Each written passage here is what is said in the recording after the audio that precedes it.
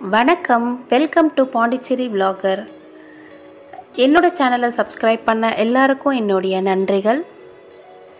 இன்றைக்கி நாம் மட்டன் குழம்பு எப்படி ஈஸியாக வைக்கலாம் அப்படின்றது தான் பார்க்க போகிறோம் இந்த ரெசிபி ரொம்ப ரொம்ப சிம்பிளான இன்க்ரீடியன்ஸ் வச்சு தான் செஞ்சுருக்கேன். இதுக்கு கரம் மசாலாவோ இல்லைன்னா கறி மசாலா அந்த மாதிரி எந்த மசாலா ஐட்டமும் தேவையில்லை. நம்ம வீட்டில் இருக்கிற அந்த குழம்பு மிளகா தூள் வச்சு நம்ம வந்து இந்த ரெசிபியை செஞ்சு முடிச்சிடலாம். முக்கியமாக புதுசாக இப்போ மட்டன் குழம்பு செய்கிறவங்களுக்கு நிறைய இன்க்ரீடியன்ஸை போட்டு குழப்பி அந்த மாதிரிலாம் இல்லாமல் சிம்பிளான திங்ஸ் வச்சு தான் இந்த ரெசிபி செஞ்சுருக்கேன். இது வந்து இட்லி தோசை ரைஸு எல்லாத்துக்கும் மேட்ச் ஆகும். சரி வாங்க நம்ம இன்க்ரீடியன்ஸை பார்க்கலாம். இப்போ ஒரு கிலோ மட்டனுக்கு தேவையான இன்க்ரீடியன்ஸை பார்த்துடலாம். மூணு பட்டை ஆறு கிராம்பு ஒரு ஸ்பூன் சோம்பு நாலு வெங்காயம் சாப் பண்ணி வச்சுருக்கேன். நாலு தக்காளி சாப் பண்ணி வச்சுருக்கேன். கொத்தமல்லி புதினா சாப் பண்ணி எடுத்துக்கோங்க. குழம்பு மிளகாத்தூள் ஒரு ஆறு ஸ்பூன் எடுத்துக்கோங்க. அரை மூடி தேங்காய் ப்ளஸ் ஒரு ஸ்பூன் குழம்பு மிளகாத்தூள் போட்டு அரைச்சி வச்சுருக்கேன். இப்போ அந்த ஒரு ஸ்பூன் மிளகாத்தூள் எதுக்கு போட்டிருக்கேன்னா அப்போ தான் அந்த தேங்காய் ஈஸியாக அரைப்படும். கொஞ்சம் நைஸாக வரும். ரொம்ப கொறு கொருன்னு இல்லாமல் கொஞ்சம் நல்லா நைஸாக வரும். அப்போ தான் குழம்பும் கொஞ்சம் நல்லா இருக்கும். அதனால தான் அப்புறம் இஞ்சி பூண்டு பேஸ்ட் வந்து ஒரு நாலு நாலு ஸ்பூன் உப்பு வந்து நம்ம தேவைக்கேற்ப போட்டுக்கலாம்.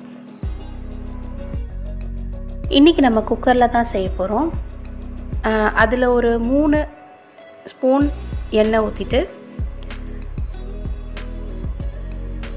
கிராம்பு பட்டை நம்ம எடுத்து வச்சிருந்த சோம்பு எல்லாத்தையும் ஆட் பண்ணிக்கலாம்.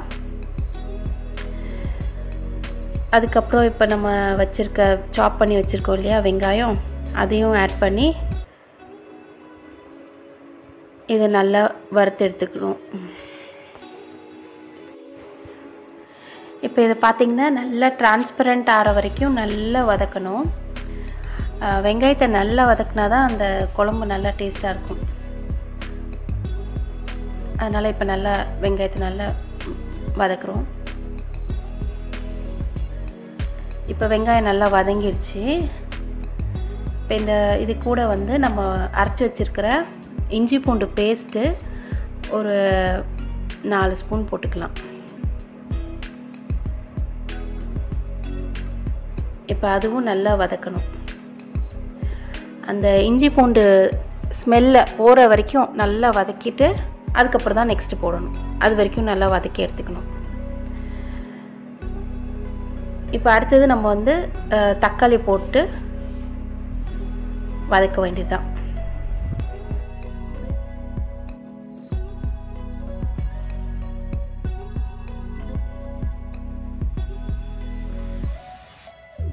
இந்த தக்காளி நல்லா வேகணும். இந்த வெங்காயமும் இந்த தக்காளியும் நல்லா வதங்கினா தான் அந்த குழம்புக்கு ஒரு நல்ல டேஸ்ட் கொடுக்கும். இப்போ இது நல்லா வதங்கிட்டு அதுக்கப்புறம் நம்ம வந்து என்ன பண்ணணும்? நம்ம எடுத்து வச்சுருந்த குழம்பு மிளகாத்தூள் வந்து இதில் ஆட் பண்ணிக்கணும். இது வந்து ஒரு கிலோக்கு மட்டனுக்கான ரேஷியோ சொல்லியிருக்கேன் நான். நீங்கள் ஹாஃப் கேஜி மட்டன் எடுத்திங்கன்னா அதுக்கேற்ற மாதிரி அதை குறைச்சிக்கலாம். இப்போ இந்த மிளகாத்தூள் போட்டு நம்ம வந்து வதக்கிக்கலாம். இப்போ நம்ம வந்து இதுக்கு நிறைய எண்ணெயோ நெய்யோ எதுவுமே யூஸ் பண்ணல கறி குழம்புக்கு. நம்ம ஸ்டார்டிங்கில் போட்ட அந்த மூணு ஸ்பூன் எண்ணெய் மட்டும்தான் இதில் போட்டிருக்கு. இப்போ இது லைட்டாக இப்படி வ வதக்கிட்டு நம்ம வந்து கழுவி வச்சுருக்கிற மட்டன் பீசஸை இதில் போடுறோம். நல்லா புழிஞ்சி போடலாம். கழுவி வச்சுருக்கிற மட்டனை நல்லா புழிஞ்சி அதில் போட்டுட்டு அதையும் ஒருத்தரை நல்லா வதக்கிட்டு அதுக்கப்புறம் நம்ம தண்ணி ஆட் பண்ணிக்கலாம்.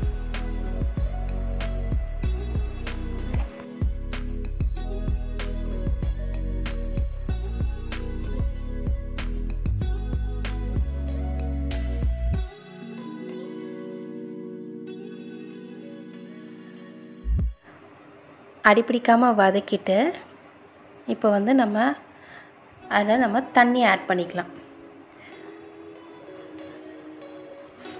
தண்ணி வந்து நமக்கு தேவையான அளவு ஆட் பண்ணிக்கலாம். நமக்கு திக்காக வேணும்னா கம்மியாக ஆட் பண்ணிக்கலாம்.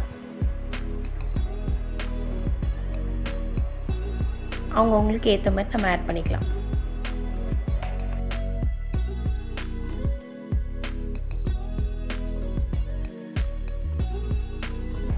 இப்போ இந்த தண்ணி நல்லா கொதி வர வரைக்கும் வெயிட் பண்ணோம் அது நல்லா கொதித்து அந்த மசாலாவோட ஸ்மெல் கொஞ்சம் போகிற வரைக்கும் அதை தண்ணியை கொதிக்க விடணும்.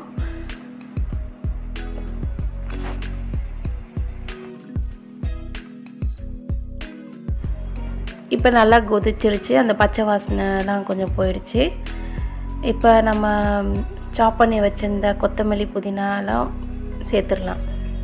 சேர்த்துட்டு ஒரே ஒரு தடவை கிளறி விட்டுட்டு இப்போ நம்ம அரைச்சி வச்சுருந்த தேங்காய் பேஸ்ட்டு அதை ஆட் பண்ணிக்கலாம். ஆட் பண்ணிவிட்டு அதையும் நல்லா கிளறி விட்டுடலாம்.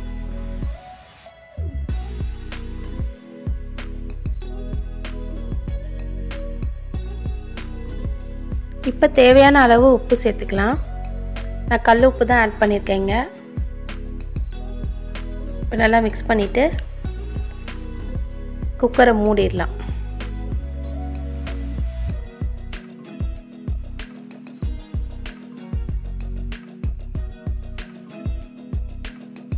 இப்போ ஒரு ஆறுலேருந்து ஏழு விசில் வந்ததும் அடுப்பை ஆஃப் பண்ணிடலாம்.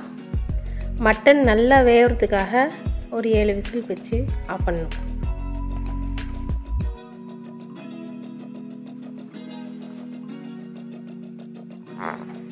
இப்போ குழம்பு ரெடி ஆகிடுச்சு இப்போ இந்த குழம்பு பார்த்திங்கன்னா எந்த ஒரு கரம் மசாலாவோ கறி மசாலாவோ எதுவுமே ஆட் பண்ணல. வீட்டில் இருக்க நம்ம எல்லா குழம்புக்கும் யூஸ் பண்ணுற குழம்பு மிளகாத்தூள் வச்சு நம்ம வந்து இந்த கறி குழம்பு செஞ்சு முடிச்சிட்டோம்.